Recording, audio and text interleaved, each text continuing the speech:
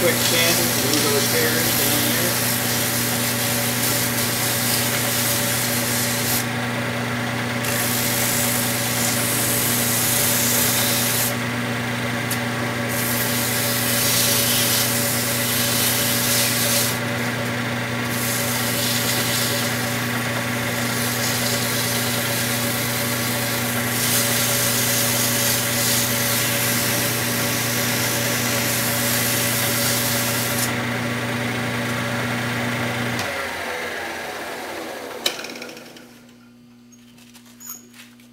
Once you've done it on with the lathe spinning, get rid of any little sanding marks with a very quick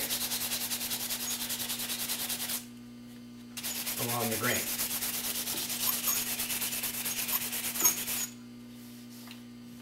Now we just have to part this off in the lathe. And the rest is carving. Let's part this off.